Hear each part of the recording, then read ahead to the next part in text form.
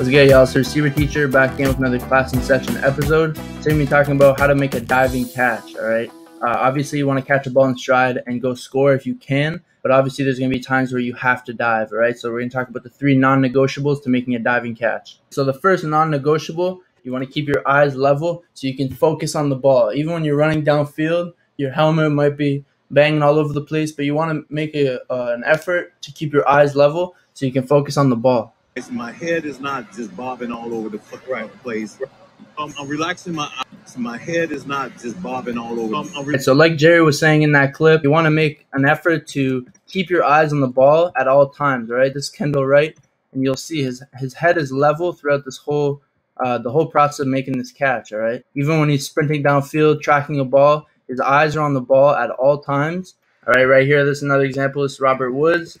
All right, he's tracking the ball. His his head does not move at all. All right, he's, he's eyes on the ball. All right, and his head is level the entire time. And again, he's catching it where you can see it. That brings me to the next point. You want to have high hands so you can catch it where you can see it. All right, you want want the ball to be in front of you as much as you can.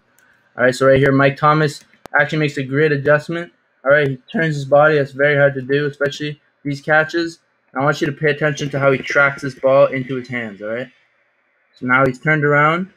All right, and he's got high hands. He doesn't let the ball drop down here. All right, and lose sight of the ball for a split second as it crosses your eyesight.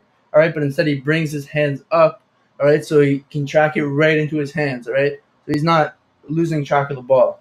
All right, I hope you can see that right? And he sees the ball the entire time through the catch. All right, so again, keep a level head, and that'll help you track the ball with high hands. All right, and lastly, all right, you don't want to land on the ball because it can easily pop free on impact. It's not secure. Weight can like force the ball out through your arms. You know, it's just not ideal. All right, so you want to rotate onto your back. All right, don't leave it up to chance. A ref can't see that you have this ball secured. Right here, it's you know, it's not that secured and then it hits the ground. Who knows what that ball is doing right now? And then eventually, when he turns around, he's still kind of fighting with it. He's trying to secure it, you know. And this was actually not a catch. So make sure to rotate to your back or your side. All right, when the ball's in the air, rotate your body. All right, and land on your back or side where the ball is protected, and there's no chance of this ball coming out. All right, so rotate to your back or side.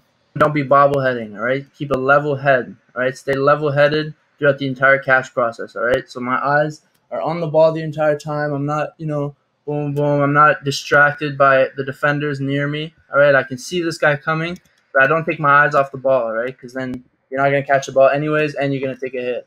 All right, so and then step two, second non-negotiable, catch it where you can see it. All right, high hands. Don't let it drop past your eyesight, so you don't lose it for you know a split second, because that could make the difference between a catch and uh, a drop. All right, and then step three, the fall.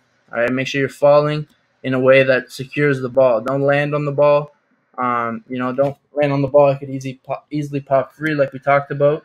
But make sure to rotate to your side or your back. All right.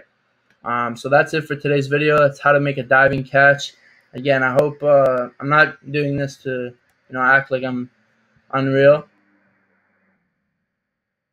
All right, so that's it for today's video, how to make a diving catch. Now, again, it's, it's a bit of a, a different video because obviously if you can catch it in stride, then do that. Uh, you always want to score a touchdown.